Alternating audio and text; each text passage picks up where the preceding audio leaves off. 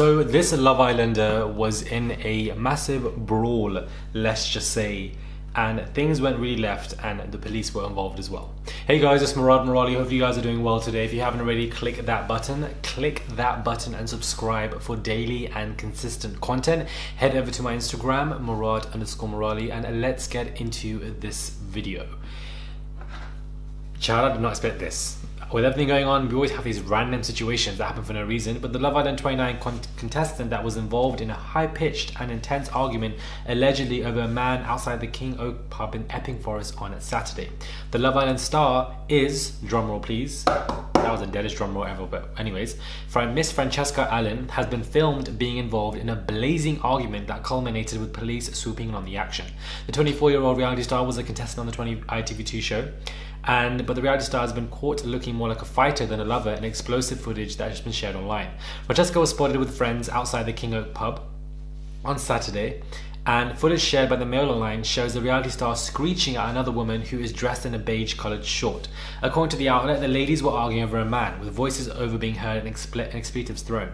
Onlookers can be heard gasping and laughing in disbelief as they film from a safe distance as the argument becomes more and more heated.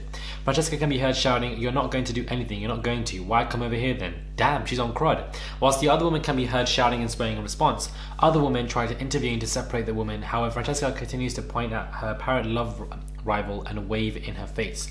Friends of the woman in beige attempt to hold her back whilst the pair continue to scream and shout at each other. The women square up to each other before police suddenly appear on the scene from bicycles not bicycles child. As the scene becomes more chaotic, the footage becomes less clear, showing the woman in beige being pulled away by a police officer. Whilst two police officers with handcuffs are seen charging into the crowd, while a male voice besides the camera filming saying it's madness up in here, an eyewitness told the Mail Online they appeared to be fighting over some guy. He was on the side and basically telling them to calm down. Francesca was trying to stay calm, but when the girl got involved, that's when she lost it and went for her. Whilst police spoken has been quoted, we will call out around 5:10 p.m. on Saturday. We received info that a large group of people had gathered in green space outside the pub reports people. We attended the scene and gave words of advice to people about congregating. They were understanding and left the vicinity without issue or the need of enforcement of action. But the gag is, we damn well know if what if there were black people arguing? Would they not be seen as intimidating? Would there be enforced action from what we've been seeing all over the world? That has to just be put into this conversation because I feel like how could it not be?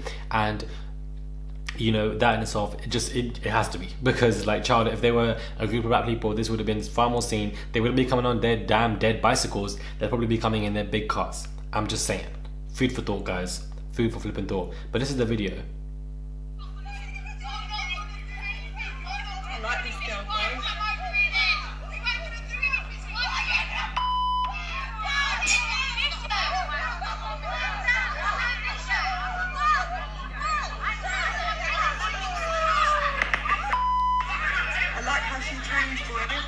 Francesca is on crud.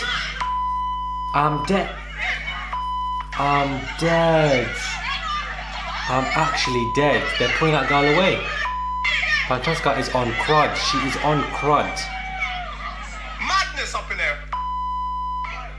She is on crud. Okay, wow. Okay, this was the same Francesca that was coming from the late Miss Caroline Flack, rest in peace. I remember ages ago in that tweet. I don't know if you guys remember that, but that was there somewhere.